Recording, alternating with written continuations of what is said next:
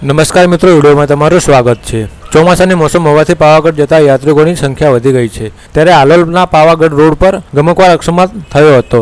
Eco કારે steering પરથી કાબુ ગુમાવતા ગમખવાર અકસ્માતમાં ત્રણ મુસાફરોના મોત નિપજ્યા હતા તથા ત્રણ લોકોને ગંભીર રીતે ઇજાગ્રસ્ત થયા હતા. પાવાગઢ દર્શને જતા યાત્રિકોને હાલોલ પાસેના રસ્તા પર અકસ્માત નડ્યો હતો. ઇકો કાર સ્ટેરિંગ પરથી કાબુ ગુમાવતા કાર ડિવાઈડર પર અથડાઈ હતી. વહેલી સવારે ભરૂચથી પાવાગઢ દર્શન કરવા જતા ઇકો કારમાં છ મુસાફરો સવાર હતા. અકસ્માતમાં કારમાં બેઠેલા છ વ્યક્તિમાં ત્રણ લોકોનું ઘટના સ્થળે મોત થયું હતું, જેમાં પાંચ વર્ષના બાળક સહિત અનેક મહિલા અને પુરુષનું મળીને ત્રણ લોકોનું મોત થયું હતું.